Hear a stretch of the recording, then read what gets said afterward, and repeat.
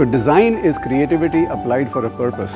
And what greater purpose than to impact humans around us?